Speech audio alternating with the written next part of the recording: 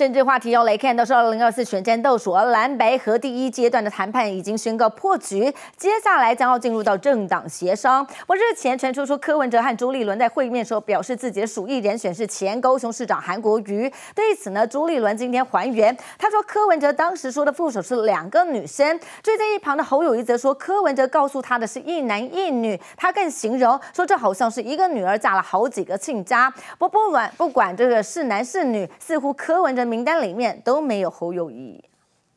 再拜。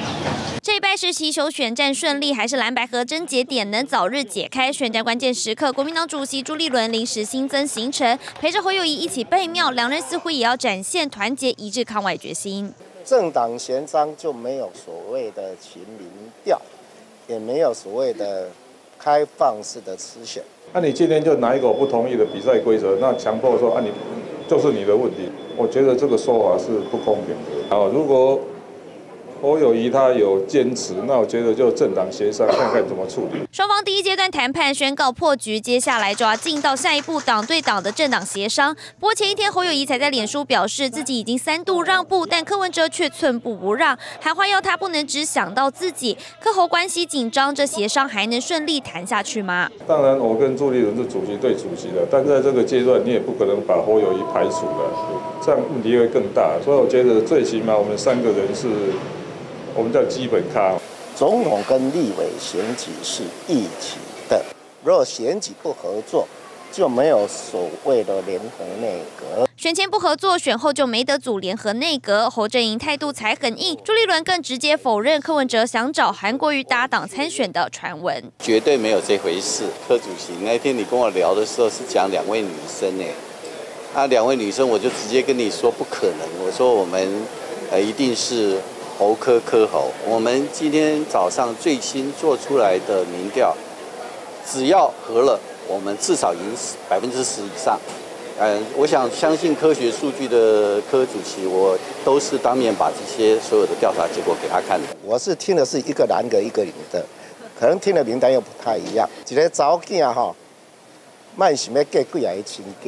国民党坚持蓝白河前提就是侯科一定要绑在一起，但似乎柯文哲的主意名单侯友谊都没在内，这下进到政党协商怎么谈？双方可得伤透脑筋。记者陈信、陈明华台北采访到。媒体人黄月虽日前在脸书爆料说，柯文哲的父母亲呢，曾经在二零一六年说，如果赖清德出来选总统，一定会支持。当时还说儿子柯文哲也会绝对支持。因此呢，黄月虽就质疑了，难不成现在是毁了承诺吗？不对此，柯文哲说明了，说这都是时空背景的不同，包括是柯文哲妈妈何瑞英也否认。但是这可惹怒黄月虽，批评柯家硬凹甩锅。感谢大家对台民众党还有对柯文哲的支持。民众党总统参选人柯文哲二十六号一早现身彰化，因为有无党籍议员加入民众党，凑满三人，民众党彰化议会党团成军。不过又有另一个争议围绕着他。作家黄月穗二十四号在脸书发文说，柯文哲的爸妈曾经在二零一六年时说过支持赖清德选总统。面对披露，柯文哲似乎不以为意。那等到我自己选的时候，当然支持自己儿子。这这有问题吗？柯文哲的回应让台下立刻哄堂大笑，而民众党立委张其禄也强调时空背景的转换。呃，当然现在。呃，柯文哲主席自己都要竞选总统哈，我想他当然柯妈去支持自己的儿子哈，没有什么好意外。黄月虽说，当年赖清德是台南市市长，但被视为是民进党双北市长的人选之一。柯文哲爸妈生怕赖清德北上对柯文哲连任市长产生威胁，因此才说赖清德选总统，柯家一定都会支持。但柯妈妈何瑞英否认。什么伊伊来，咱你咱你讲讲啥讲啥，哪有这代志？我我不会讲，无啥无代要讲讲讲人的是非。何瑞英和柯文哲的回应让黄月虽加码爆料。何瑞英曾说，客家有人当医生就很幸运了，不会笑想选总统。就是再一次的证明，柯文哲主席这个人讲话从来都是言而无信。要选总统的人，呃，如果他每次讲的话都可以过去讲了，跟后来不算的话。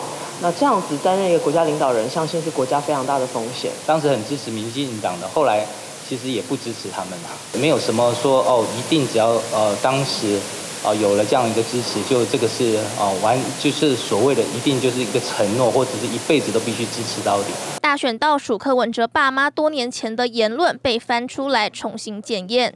记者吴成军、姚家鼎台北采访报道。